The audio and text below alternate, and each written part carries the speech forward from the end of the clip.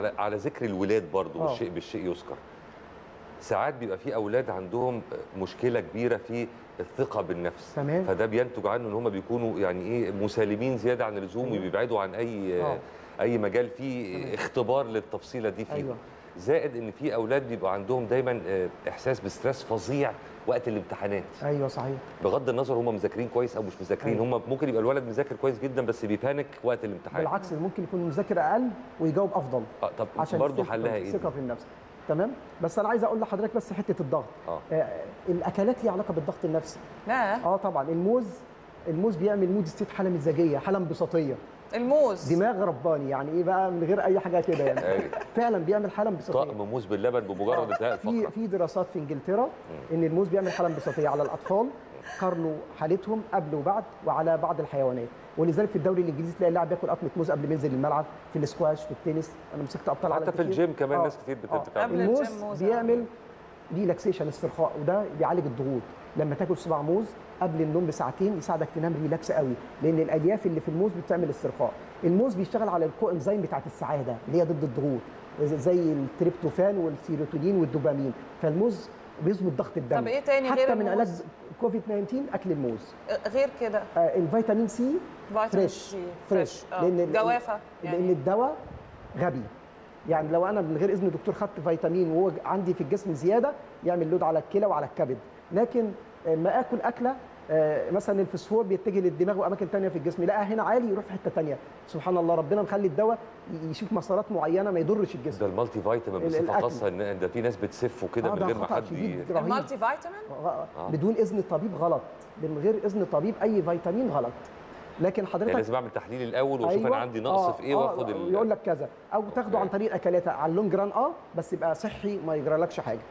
فيتامين سي بيعمل إيه؟ نتيجة ال emotion الضغوط والمذاكرة والحياة بتاعتنا اللي حضرتك تفضلت أنت ونهاوند أنا قلت عليها.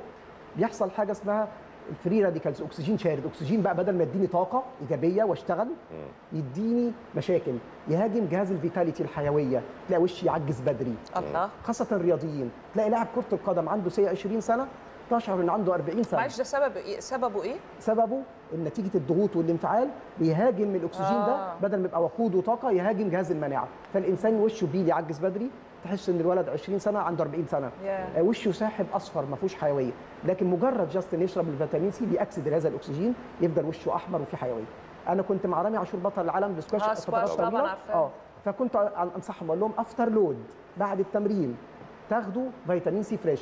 جالي في مرة من أمريكا مع عصير مكتوب عليه after activity كنت بقول له آه. أكتر إيه بقى؟ عبارة عن مجموعة فيتامين مع بعض fresh طبيعية ما فيهاش chemicals مضروبة مع بعض يشربها اللاعب بعد التمرين عشان الضغوط والانفعالات فرحان زعلان وهو بيلعب ده ما يجه... ما, يجه... ما يهاجمش جهاز المناعه مجرد ما يشرب الفيتامين سي ياكسد أيوه. فده- أشرب فيتامين سي على شكل عصير ولا آه. على شكل pills ولا على لا شكل عصير إيه؟ بيبقى سهل الهضم وخاصة الكيوي يا جماعة أعلى آه يعني. أعمله في البيت في الخلاط آه، بقى آه، ده دايما آه.